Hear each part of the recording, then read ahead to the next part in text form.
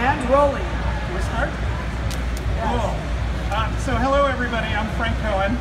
Uh, I'm the founder of a company called Starling Watch. And uh, next to me is Terri Hardin. Um, and uh, I'll let Terri do her own introduction. Go ahead.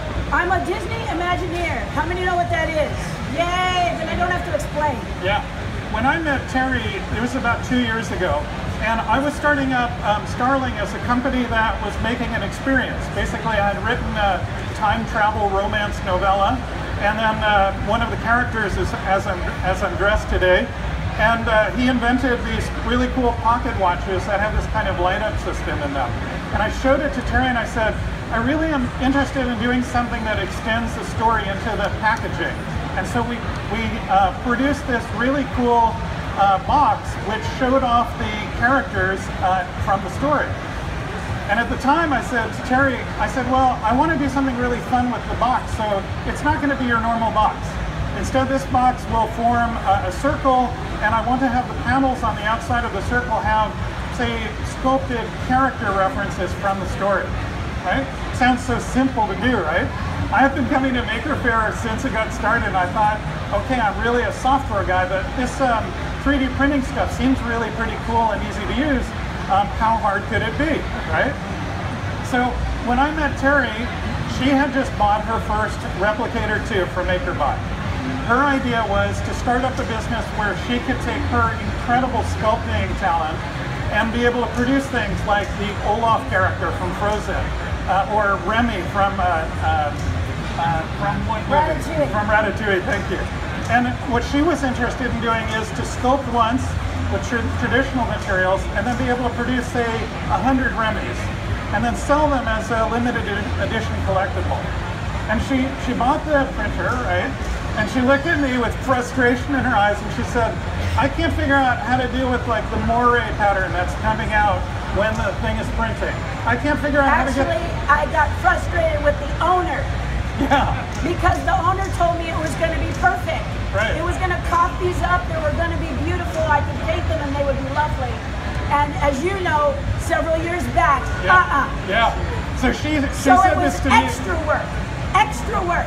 Yeah. Which, how many makers need extra work? None. Right. None. No. And she was Did asking me like, it. okay, Frank, you've been in the industry for so long. What am I missing? And I told her, you know, there's about 60 missing steps here, right? So the reason that we're talking today is because Terri kind of represents a, a type of artist who's used to working in traditional tools and materials, and there is a huge gap from what her talent is to being able to do short run things that are produced that you can actually sell. Right? Yes, huge Okay. gap. So I have some questions for Terri. What, the first one is, what did you use for traditional sculpting? So I am a sculptor. Some of the things you're seeing here, I actually created. So the box I created, the pink you see is wax. I work a lot in wax for high detail and kind of a fruitcake like that. The boxes are this big. So I work really small and then I can work really big. But the point is, is I work in two mediums I love, which is Chavant clay and also I like to work in wax. I learned how to work in wax at Mattel. And with wax, you go hot, cold, hot, cold. And then I cast it. So it's not injection molded and it's not 3D printed because 3D printing at that time, well, even now, it's a bit too slow and it's also got too much moire. But as I walked around here, I noticed that there's a lot less moire. So I'm feeling a little bit better. There's still time involved. But it, you know, in just a few short years, I'm seeing how quickly things are evolving here at the Maker Faire. Right. So this is your second year. My second year. Yeah. So Y'all the- are amazing. so what what do you see as the, the use of kind of manufacturing techniques and um, what what are its limitations currently? Well- you're you're mostly going now from say uh, wax or from clay into say cast resin, right?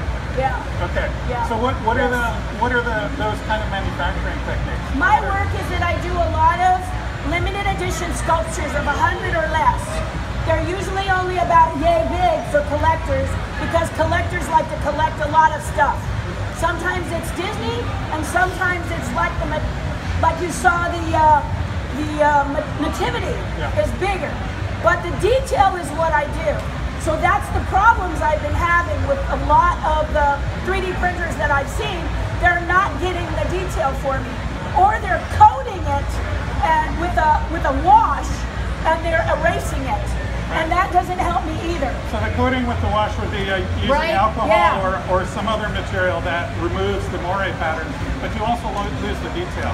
Yeah, And- so and- casting, as I know you're nodding, so I'm with you on this. Casting is what gives me the detail. I have a human who casts it, and he knows exactly how to get my eensy teensy weensy detail, of which there's a lot. If you look at only this big, so I'm looking at fingernail size detail. Right. If you've ever worked with a polymer clay or Sculpey, once it gets below three inches, it starts to break down because the components are too bulky to get that detail, which is why I moved to wax. Right. Okay. So what you're seeing here is the finished piece after it's been cast using resin. But how much is a typical resin mold costing to, to get you into production? It kind of depends on the project. So for Frank's project, if it had been a square box, it would have been a lot less expensive. But he decides to do a trapezoid that interconnects with the other ones, and that shot the price up. Yeah. Why should we make Artists it easy? call that the what if. What it, wouldn't it be cool if? So if you're an artist and you say, wouldn't it be cool if? Usually the price goes up and your days of working on it go longer. Gosh, it'd be great if I could see through the rib cage to the bony spine if I'm making a skeleton. That's another day and a half of sculpting and a little in the molding. So yeah. That's cool. Okay, now as far as the sculpting materials go, what what uh, kind of detail in the piece itself concerns you? I mean, we're we're seeing pieces up here where the neck is like maybe an eighth of an inch, thick. Yeah. So what what are Yes. of the sculpting materials that you've got? What kind of concerns you? Well, in many cases, if I'm doing a 3D, it could break there, it could snap there because it's too weak. So when I worked with, for Mattel, I made a Tigger and I did a slender neck on my Tigger. And when they tried to put it through and pour the rubber in, whenever they pulled out the rubber Tigger, his head kept ripping off because his neck was too narrow. So then they asked me to thicken it. So what I'm learning by communicating with 3D printer makers here and people who 3D print is what is it do I need to do to do my work so that I can get a better 3D print?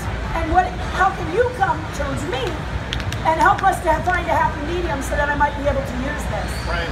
And uh, you know, one of the things that you might not have noticed is that there are armatures in these sculptures that you're building, right? In some sculptures, yes. Yeah.